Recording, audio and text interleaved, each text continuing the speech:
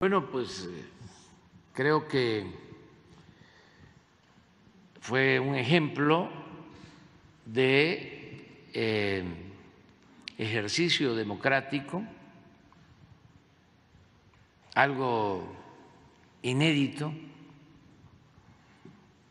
la costumbre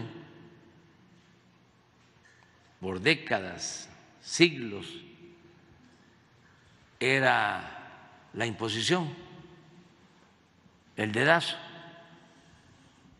del presidente en turno decidía sobre el sucesor. Eso se impuso durante mucho tiempo. Los jóvenes tienen que conocer toda esta historia porque, como lo hemos dicho varias veces, no había en México democracia.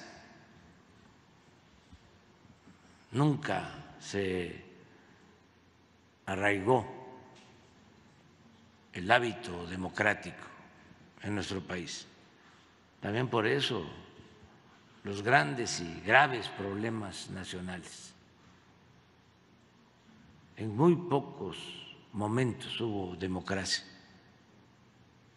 En el periodo de la República restaurada, diez años del siglo XIX,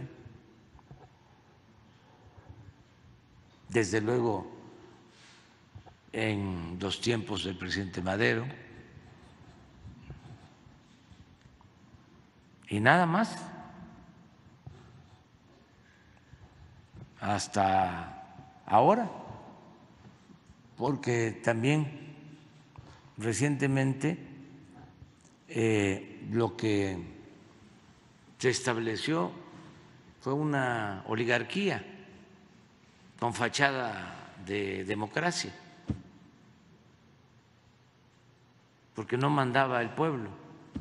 La democracia es el gobierno del pueblo, la oligarquía es el gobierno de una minoría. Se usaba el pueblo,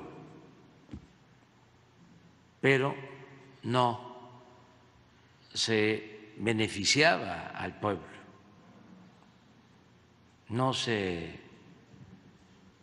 mandaba obedeciendo al pueblo, no se gobernaba para el pueblo.